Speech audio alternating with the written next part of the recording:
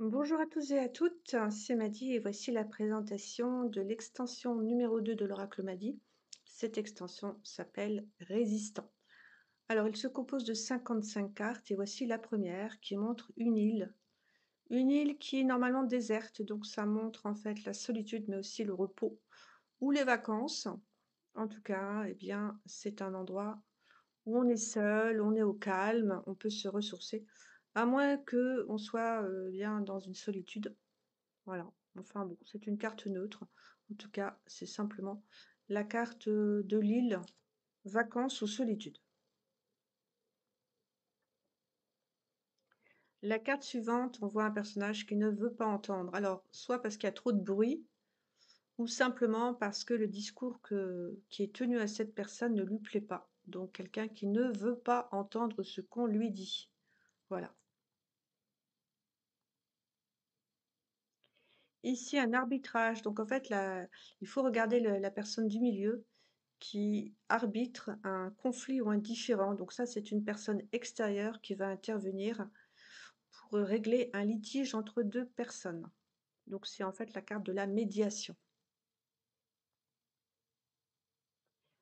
Ici, Aladdin et la lampe magique, un souhait qui va se réaliser puisque on voit que le génie a été sollicité, donc un souhait, un souhait qui va se réaliser. Ici, c'est la carte de la confirmation, donc euh, dans le jeu, cette carte montre simplement la certitude de ce qui a été dit ou prévu. Voilà, donc confirmation.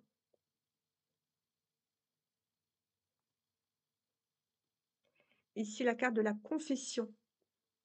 Donc on confesse quelque chose, on avoue quelque chose. À moins que, évidemment, ce soit aussi eh bien, une personne qui désire se rendre dans une église pour se confesser. De toute façon, il y a vraiment la notion d'avouer quelque chose. Ici, la carte de la zénitude. Alors, normalement, cette carte-là montre qu'il faut rester calme, qu'il faut rester zen, qu'il faut rester tranquille. Mais ça peut aussi montrer eh bien, des pays en relation avec cette divinité. Voilà. Mais normalement, c'est une carte de spiritualité. Le calme intérieur. Eh bien, la fameuse carte des résistants, le mouton noir. Voilà, celui qui n'en fait qu'à sa tête, qui est courageux et qui se bat pour défendre les valeurs eh bien, auxquelles il croit ou elle croit.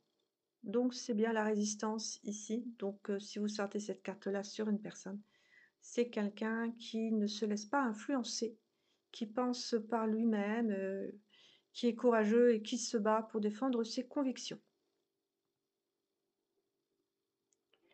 Là, c'est généralement bien, j'ai fait cette carte-là pardon, en, pensant à la bureaucratie.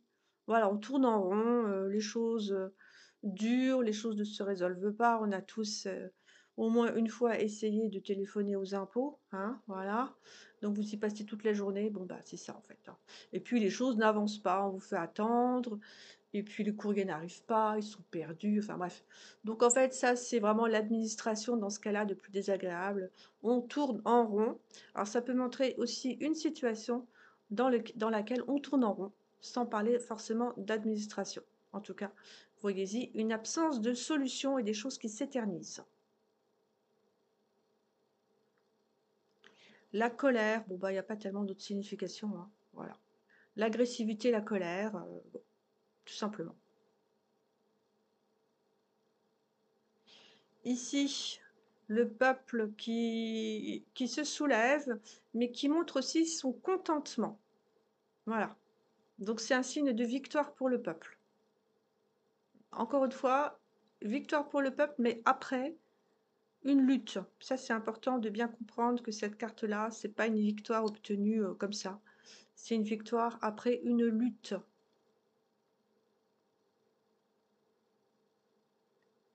Ici, c'est quelqu'un qui rêve. Moi, je verrais bien la carte de l'utopie ou de l'utopiste.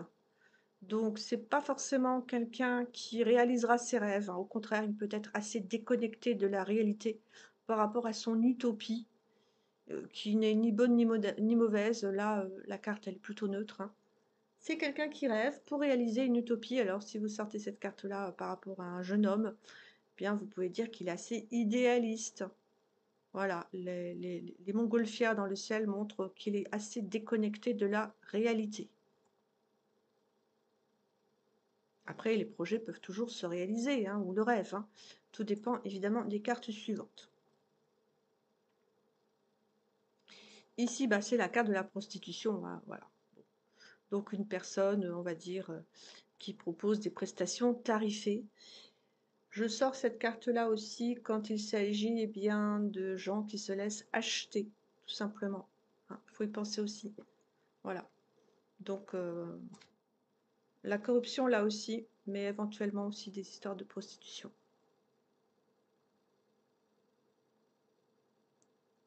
Ici, un tsunami. Alors, ça peut montrer une, catastrophe naturelle. Enfin, généralement, c'est une catastrophe naturelle. Si votre tirage ne parle pas de catastrophe naturelle, eh bien, c'est qu'il y a quelque chose là qui va être très destructeur et auquel eh bien, la personne ne s'attend pas. Hein. Là, il y a une grosse catastrophe hein, qui arrive et qui peut détruire justement une situation existante. Mais généralement, eh bien, c'est vraiment le tsunami, donc plutôt catastrophe naturelle. Alors, pour rester dans les catastrophes, c'est la carte du tremblement de terre. Hein. bon. il n'y a pas tellement d'autres significations. Hein. Si euh, le tirage parle d'une personne, eh vous pouvez dire que les, fondations de cette personne eh bien, ont été détruites suite à un événement qui est arrivé dans sa vie. Hein. Vous voyez ici que la route, bien, elle est fissurée. Donc c'est très dangereux de marcher sur cette route hein, parce que le sol peut s'ouvrir sous les pieds. Donc catastrophe passée ou à venir. Si vous faites le futur, là, c'est qu'il y a quelque chose qui va arriver qui n'est pas bon du tout. Hein.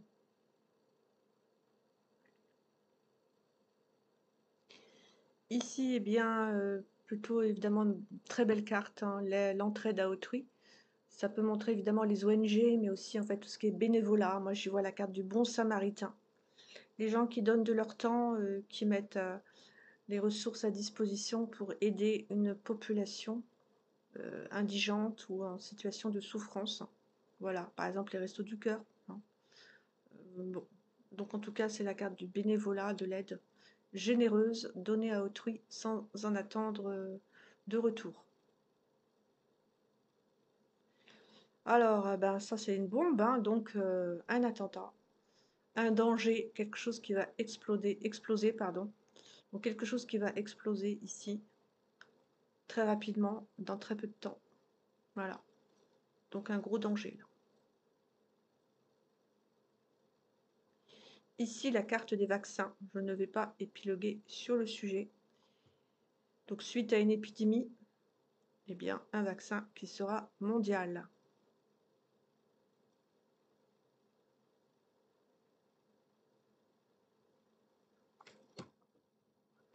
Ici, cet homme a peur et il se cache. Voilà. Donc ça, c'est la carte de la peur. On est perdu, on, a, on, a quand même une lampe électrique, mais on ne retrouve pas son chemin. Donc ça, c'est vraiment la peur. Hein. Voilà. Ici, on ne veut pas voir la réalité. On ne veut pas accepter la vérité, qui peuvent être d'ailleurs euh, très dérangeantes. Donc c'est le déni, tout simplement. La carte du déni.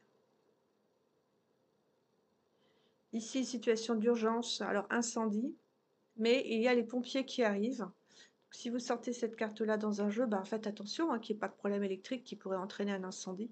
En tout cas, il y a une situation d'urgence qui va nécessiter une intervention extérieure. la bonne euh, chose quand même dans cette carte, c'est qu'il y aura vraiment une intervention extérieure pour venir aider à éteindre le feu. Ici, il faut se battre. Hein. C'est pour ça que cette carte-là, je l'ai mise dans, mon extension résistant il ne faut pas avoir peur maintenant de monter sur le ring et d'aller se battre euh, face à l'adversaire parce qu'il faut résister. Voilà. Bon, ça peut évidemment montrer aussi quelqu'un qui est sportif hein, ou qui pratique la boxe, ceci dit. Mais c'est quand même une carte de résistance euh, avec la notion eh bien, de ne pas se laisser faire. Ici, c'est une accalmie. Voilà, la paix. C'est ce dont on, rêve tous. Hein. La paix, euh, tranquille, paisser tranquillement dans un champ vert. Euh, voilà. Bon, c'est la paix tout simplement. Avec, encore une fois, une situation agréable, une accalmie qui peut être passagère ou pas. Voilà. Les gens qui rêvent de paix, moi j'y verrais bien une population tout simplement, qui aimerait qu'on lui fiche la paix justement. Donc une accalmie. Ici, euh, les médecines naturelles, euh, vous avez ici les plantes, euh, les huiles essentielles, tout ce qui est poudre de plantes, enfin voilà. Donc tout ce qui permet eh bien, de se soigner, des gélules aussi, tout ce qui permet de se soigner avec des choses naturelles. Là, quelqu'un qui fait de l'autostop, donc quelqu'un que l'on prend à bord. Ça peut montrer aussi quelqu'un à qui on rend service. Mais euh, bon, voilà. Quelqu'un qui va monter à bord d'une voiture. Ici, une panne. Alors, c'est pas forcément une panne de voiture. Hein. C'est une panne en général. Donc, si vous sortez ça dans un tirage sur le travail, bah, c'est que ça ne fonctionne plus. Voilà, ça ne fonctionne plus. Euh, voilà, et puis, euh, bon, bah, ça peut aussi montrer un arrêt forcé hein, au niveau du travail. En tout cas, la première signification, c'est la panne.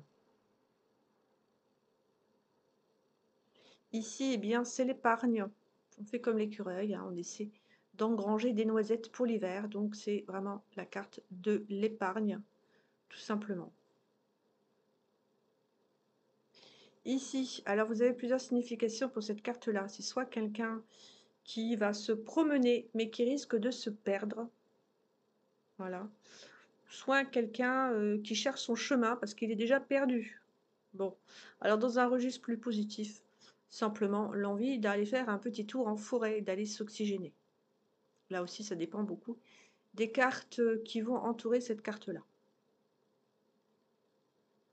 Ici, eh bien, la personne perdue a été retrouvée, par exemple. Voilà alors que les probabilités n'étaient pas très élevées, eh bien on peut retrouver avec une carte comme ça quelqu'un de perdu ou quelque chose de perdu. Voilà. Donc on trouve de façon un peu inattendue ou inespérée, hein, que ce soit un objet ou une personne. Ici, on montre du doigt quelqu'un dont on se moque. Alors, ça peut montrer le harcèlement, par exemple. En tout cas, c'est quelqu'un qui est vraiment à part et qui fait l'objet de moqueries d'autrui. Alors, à tort ou à raison, hein, la carte ne le dit pas.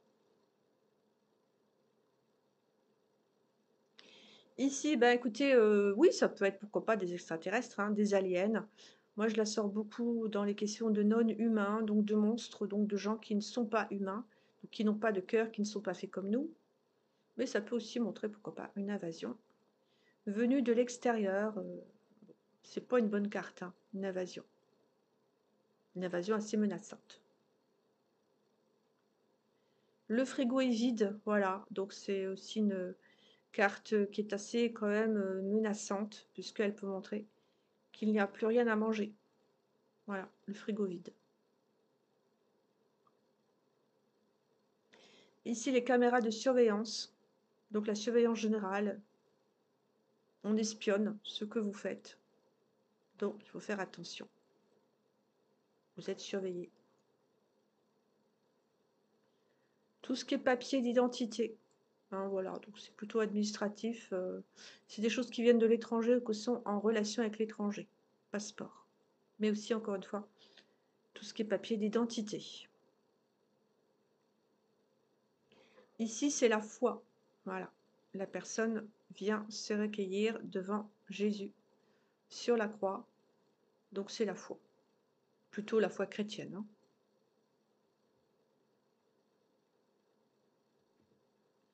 Ici, eh bien, la personne a pris son parapluie. Elle est prudente.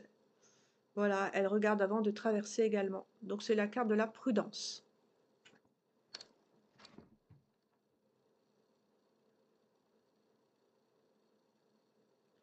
Ici, c'est la carte de la provocation. On allume du feu dans une station essence. Bon, il n'y a pas tellement d'autres euh, significations. Provocation pouvant, conduire à l'explosion d'une situation qui est déjà assez problématique. Provocation et situation explosive. Ici, c'est quand on gagne dans un procès ou dans un litige, vous avez de l'argent. Voilà, donc plutôt gain financier. Gain dans un procès, c'est vraiment la signification première de cette carte-là. Après, eh bien, cette signification, signification n'est pas exhaustive, hein, vous pouvez en trouver d'autres. Hein. Mais généralement, c'est une carte qui est positive. On gagne dans son procès ou dans un litige. À moins que ce soit un remboursement d'assurance, hein, pas exclu. Alors, bah ça c'est la bonne récolte. Hein. Évidemment, vous pouvez sortir euh, cette carte-là dans les questions d'agriculture hein, ou de permaculture. Voilà. C'est une carte positive, une bonne récolte. Donc, euh, si vous avez de l'argent à côté de cette carte-là, eh bien, c'est que vous aurez les fruits de votre travail. Voilà. On récolte euh, des choses de façon positive. Mais ça peut aussi montrer, comme je vous l'ai dit avant, les questions de permaculture ou d'agriculture, ou de potager, tout simplement. Ici, ben justement, une fois qu'on a fait des récoltes, eh bien, il faut faire des réserves, voilà. Donc, ce sont des réserves que vous avez mis euh, dans votre cave, euh, voilà, quelle qu'elle soit. Il y a de la farine, par exemple, ou des, boîtes de conserve. Ça peut montrer dans un autre registre tout ce qui est compartimenté, tout ce qui est mis en réserve et dont on aura besoin plus tard, par la suite. Mais la, la signification première, c'est vraiment les réserves de nourriture plutôt. Hein. Ici, eh bien, euh, accès défendu, accès interdit. Alors, soit c'est pour vous protéger, soit c'est pour vous défendre l'accès à un endroit très protégé. Donc, de toute façon, c'est interdit d'accès ou d'accéder voilà, à ce qui se cache derrière euh, ces poteaux.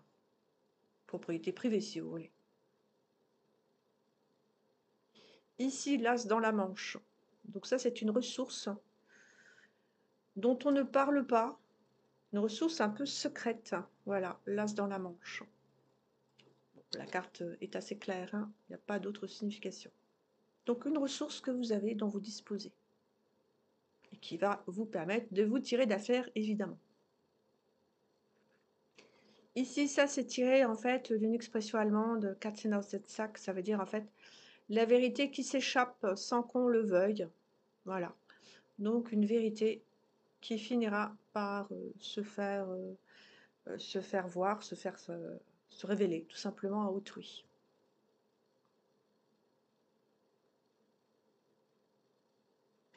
Ici, eh bien, c'est un volcan. Alors oui, ça peut être une catastrophe naturelle, un volcan qui s'éveille, ou tout simplement une situation volcanique explosive est très dangereuse. Alors en parlant de catastrophe, eh bien ça c'est la carte de l'inondation. Donc là, il faut s'attendre à avoir un problème à la maison, une canalisation euh, qui est rouillée, enfin qui éclate, enfin bref, un dégât des eaux. Voilà. Donc ce euh, c'est pas une bonne carte, évidemment, comme vous vous en doutez. Là, c'est un maçon. Alors, en fait, euh, bien, il y a deux possibilités, cette carte-là soit le maçon est construit, donc c'est une carte positive, mais je me suis aperçue que ça pouvait montrer aussi quelqu'un qui voulait enfermer quelque chose, voire s'enfermer lui-même. Bon, donc c'est à vous de sentir un peu la carte. Hein. Les cartes, elles ont souvent en fait euh, des côtés un peu euh, exhaustifs, hein, ou plutôt non exhaustifs, c'est-à-dire que vous êtes libre d'interpréter cette carte-là. Est-ce que vous allez regarder plutôt le mur ou est-ce que vous allez regarder le maçon? Si vous regardez le maçon, c'est quelqu'un qui est construit. Si vous regardez le mur, eh bien attention parce que là, il risque de s'emmurer lui-même. Donc carte d'enfermement ou de construction. Ici, c'est une touriste. Voilà, tout simplement. Alors s'il s'agit de vous, eh bien c'est que vous allez aller faire un petit tour à l'étranger. Vous avez besoin de vacances, donc c'est voyage à l'étranger. Tourisme, vacances, dépaysement, voilà. Ici, c'est une chambre d'hôtel. Alors, ça va bien avec la carte du tourisme. Hein. Donc, chambre d'hôtel, euh, pourquoi pas. Mais c'est aussi, en fait, euh, des choses secrètes, euh, des choses cachées, la vie privée.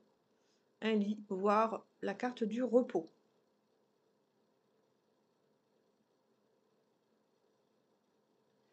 Ici, c'est un enterrement et un deuil. Voilà, on fait le deuil de quelqu'un ou de quelque chose.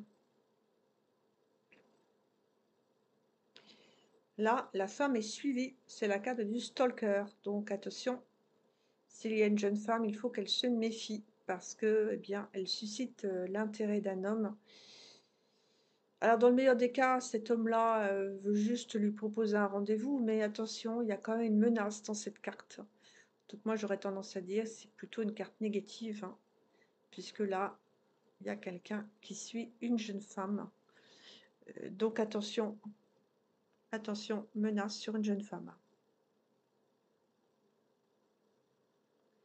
Ici, le réveil va être brutal pour les moutons qui dorment. Voilà. Tellement brutal que euh, le, miroir est en train d'être fêlé. Et va sans doute se briser. Voilà. Donc un réveil très brutal. Quelqu'un qui prend conscience d'une vérité ou d'une situation.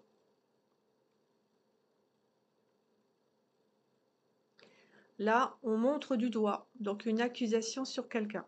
Voilà, on montre un coupable, donc une accusation dont il va falloir eh bien, euh, se dépatouiller, si je puis dire. Hein. Parce que là, vraiment, c'est pas une bonne carte.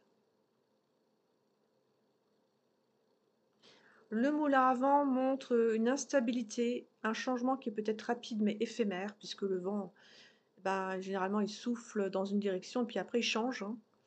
Donc voilà, donc euh, ça peut montrer quelqu'un qui parle pour ne rien dire, ou qui brasse beaucoup d'air. C'est une carte d'instabilité ou de changement, encore une fois, rapide, mais qui peut être aussi éphémère. À moins que ce ne soit tout simplement un moulin. Ici, c'est la carte des trafics. Voilà, c'est pas ce qu'il y a dans la boîte. Mais normalement, ce ne sont pas des choses qui s'achètent légalement. Donc, c'est les trafics illégaux.